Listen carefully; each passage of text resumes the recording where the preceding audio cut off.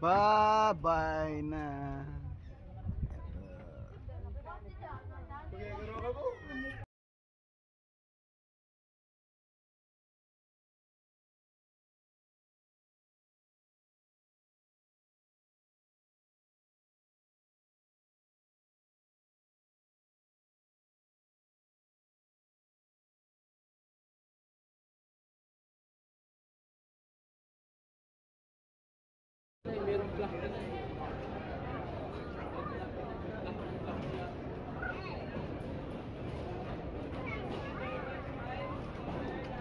ねえ。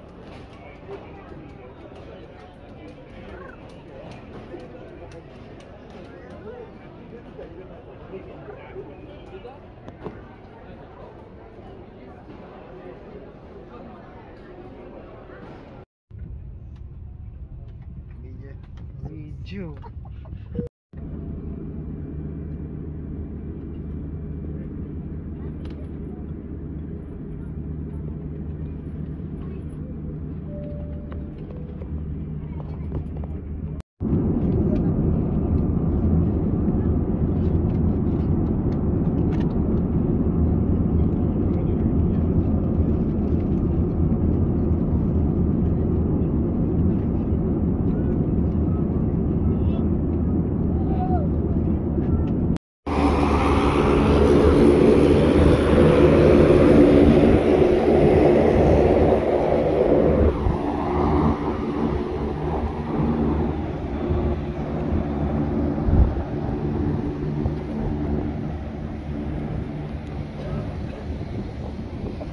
34. Yan ang...